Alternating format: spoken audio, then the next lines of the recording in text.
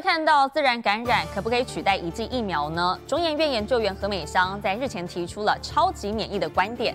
她认为施打疫苗之后，再加上自然感染所产生的综合免疫力是超级免疫。但是有专家提醒了，这个自然感染的保护力比较短，等于呢是勉强可以等于一剂的疫苗，保护力大约只有三到六个月左右。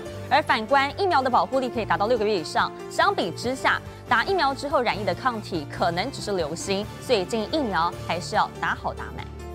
从车站内一路排到户外，屏东火车站二十一号启动莫德纳随到随打服务，不少人赶快来补打第三剂疫苗，也有小朋友来接种第一剂。门有打开就来了，其实我半夜三点就来看有没有开门。小朋友第一次啊，再拜托呀，打。嗯，就看大家都打没事啊哈。打疫苗增加保护力，但有不少人打疫苗后染疫，认为就像吃了无敌星星，拥有超级免疫。不过专家提醒，千万不要为了抗体刻意染疫，不要把这个当成你的免费疫苗了。毕竟免费疫苗这个免费，有时候搞不好要付出很大的代价。你有可能有部分很小很小的部分的人。